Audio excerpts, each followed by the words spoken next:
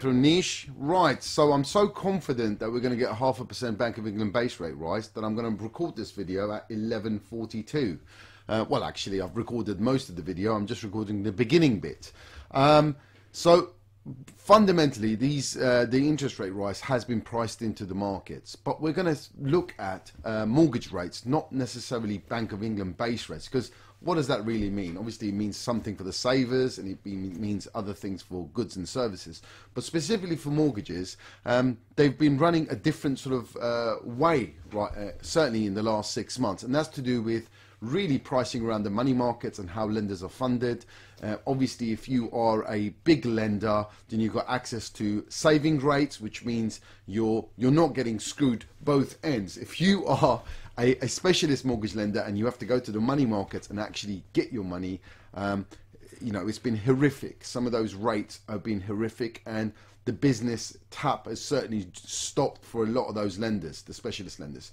But we're going to look at um, some of the best rates on the market. So I've picked the best two-year rates, the best five-year rates, the best tracker rates. Uh, that's got early repayment charges and without early repayment charges um, based on a parameters. So we can look at and obviously look at purchases for now but obviously this is really um, a video for people that are looking to purchase that are, their rates are coming up maybe their rates coming up in the next year or in the next two years.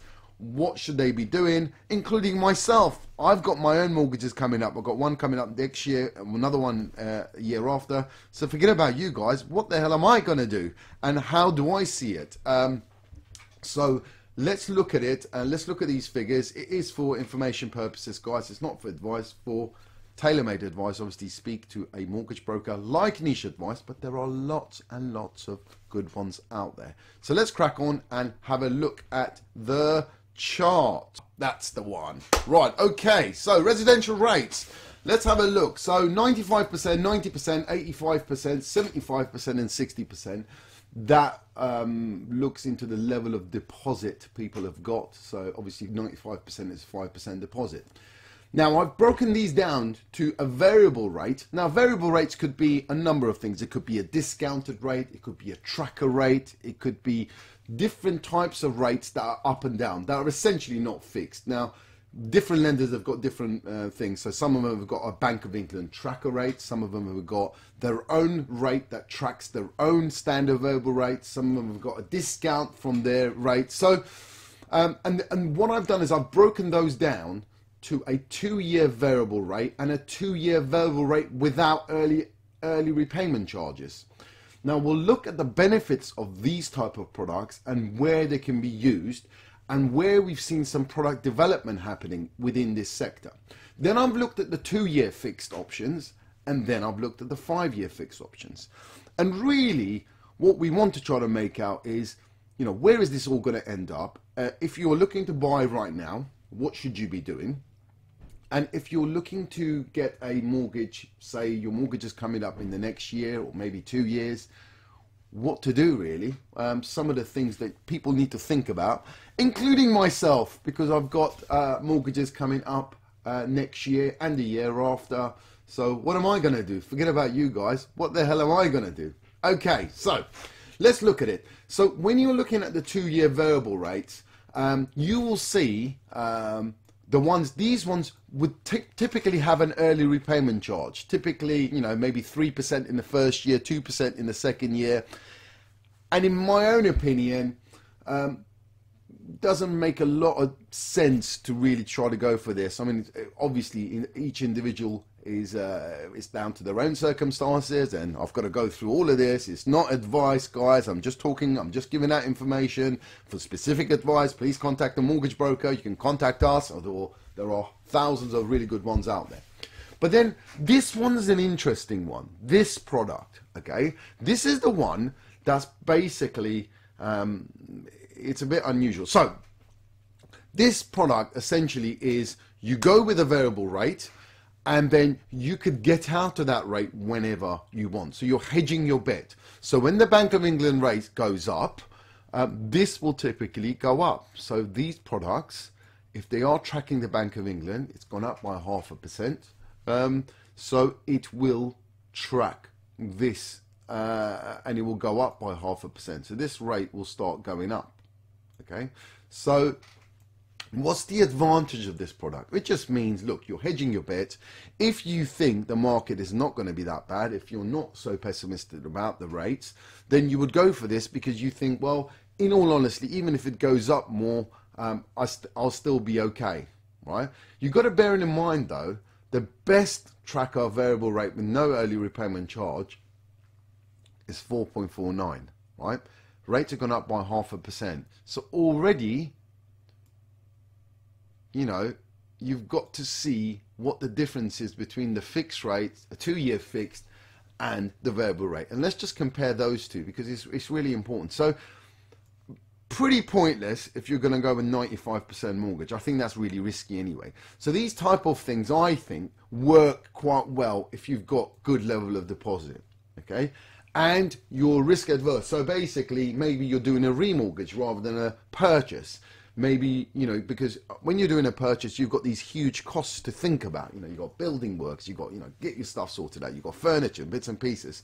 So but if you've already been in a property um, maybe you're at a low loan to value maybe you're in a steady job um, maybe the kids have grown up you haven't got childcare costs things like that then it might be worth looking at it. Because you think let's do a 60% loan to value. So you've got 40% deposit. The rate is 3.64 right now obviously Bank of England rate base has gone up, so half a percent. So that will go up by half a percent, okay? But it's still lower than the best two-year fixed out there.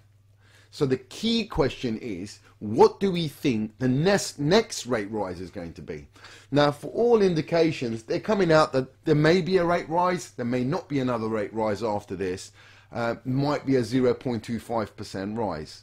Okay, so um, that's really the question. Then you look at the five-year fixes, okay?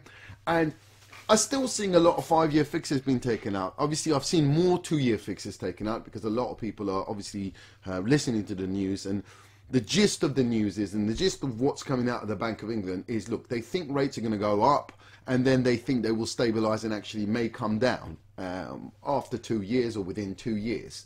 And that's where, looking at this, what the lenders are thinking. Now, that's not to say anybody's right. Let's be honest. Um, before, I'd say, what, November, December, they were saying, oh my God, rates are going to be 7%. And, you know, the markets went wild. And some of these rates were sitting at, you know, 6% somewhere. So these guys, just because these guys have forecasted their rates, they don't really know a lot. okay, so you've got to make your own guesses. Really, it's down to your own circumstances. But looking at it, the rates, the lenders think that the five-year option. So looks to me after two years, they believe rates are going to come down or they're going to stabilize dramatically, because 4.17, if you've got 40% deposit, that's not a bad rate considering the Bank of England, where the Bank of England base rate is right now, and considering where they think it's going to go. Right? So longer term, they don't think it's going to go haywire. Right? But who are they? and they didn't, you know, I'm talking about the Bank of England, I'm talking about me, I'm talking about the bank. They don't necessarily know what, what's coming around the corner. But if you are somebody who's, who's you know, um, maybe you're going to have kids, maybe you're looking to move house, maybe your circumstances are going to change, maybe your job's going to change. You want that stability, then you still have a good five year fixed option, right? So, what are we going to do uh, if, you know, so in two years' time, say next year or at the end of this year, your mortgage is going to come up? One of the things you can do is um, go for a mortgage six months before, apply with a mortgage lender, preferably via a mortgage broker. And I'll tell you why. Because the mortgage broker will have good insight of what's going on with the overall market. You may go with one lender, but that lender may be very uncompetitive in six months' time or in three months' time before you complete. Generally, mortgage offers and remortgage offers are valid for six months, between three to six months. So you lock in your rate now, and then maybe in two months' time you have another look and then see if the rates have come down. Great, you ask your mortgage broker to try to get you a new rate.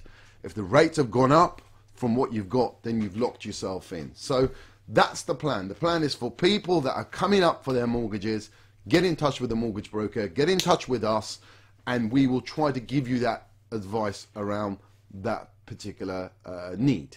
Um, what I've seen is this um, tracker to fixed options as well. You've seen it in buy to let sector. We've seen it with major lenders like NatWest looking at this, and I think that's a really good get out clause. So where this is a tracker, so you've got no early repayment charges. If you stay with that lender, they'll allow you to fix in at a later date. So let's just say you take a, a lower rate now on a tracker, but oh my God, rates start going up. You have the option to fix in with that lender. And the beauty of that is, as long as you've been there for three months, you don't have to uh, underwrite the case again. So no affordability checks, no underwriting checks, and that's really, really important because you know you don't want where people got caught out was as rates increased. They had mortgage offers and maybe they lost their property or something happened and they had to rerun new affordability checks with new cost of livings, with new interest rate rises, and that screwed their deals up. So you just got to bear that in mind. Um, don't listen to uh, me. Don't listen to uh, the, um, uh, the the BBC and the Sky News and the mainstream news and, and even the Bank of England base rates. Place it on yourself and your own circumstances and your own risk profile and where your costs are, where you think you're going to be in the next year or two. That's ultimately where you should be making a decision of going for one of these products okay um, because uh, it's very subjective and that's why people need advice and that's why more and more funny enough people say oh my god Payam um, the market sort of turned how's your business doing I'm saying actually we're actually more busier now um, than maybe the same time last year. Although it was a buoyant market, more people have realised that they actually need advice now. Um, so uh, my the only thing you can you should listen to is go and get some professional advice. There's been some statistics um, uh, recently to say, look, many many people are not getting uh, regulated advice out there, um, and that's because mainly because of cost. Uh, we've seen this in the financial sector in, ter in terms of financial advisors. The problem is um, there was regulation with financial advice uh, uh, many years ago now called RDR, retail, whatever it was called. But bas basically, it removed uh, the uh, removed the um, commissions for financial advisors. So financial advisors could not be remunerated uh, for for for their advice. And what happened with that market was all the financial advisors simply went for people that had money because they could charge them and these people would pay for that service. Um, and unfortunately, what that's done is left a whole load of people that would have got advice historically. Yes, the brokers would have made commission out of it, but they would have got advice. And now, what's happening? They're all they're all sort of left uh, to fend for themselves because you know those financial advisors are not interested in you know essentially helping people with no not a lot of money. They all everybody's after the uh, the big uh, the big ticket clients. Thankfully, that's not the case for for mortgages, and there are commissions still being paid. There are brokers that will still make money in terms of charges. Um, what I would say is be conscious. I had a case yesterday. A client came to me about a year ago. um, he had a specific property, and I didn't believe the normal high street lenders will actually lend to him. Um, however, I did have a high street lender who we had a track record of lending to him. So I quoted him that lender. He went away um, for whatever reason, whether it was my charges, whether it was our interaction, whether it was the way we worked, whatever it was, he decided to go with a fees free online mortgage broker.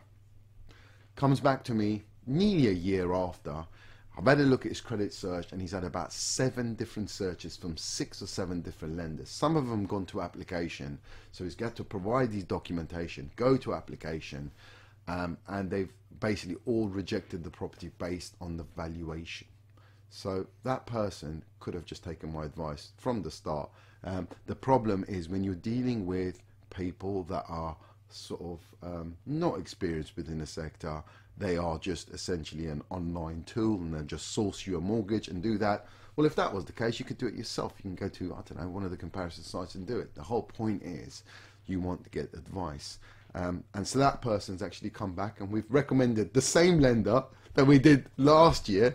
And let's see, let's see what happens. I don't know whether it's going to go through or not, but um, uh, there's a there's a story there, and the story is really um, try to um, not just go for cheapest chips because you know ultimately it's about getting a mortgage, getting a deal, getting it completed, rather than just messing around. Um, let me know what you guys think about rates, guys, and I'll catch you on the next one. Take care. All the best.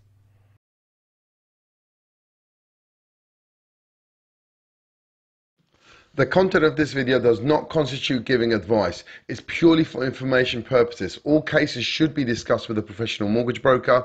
As a mortgage is secured against your home or property, it could be repossessed if you do not keep up mortgage payments. Niche advice is authorized and regulated by the Financial Conduct Authority.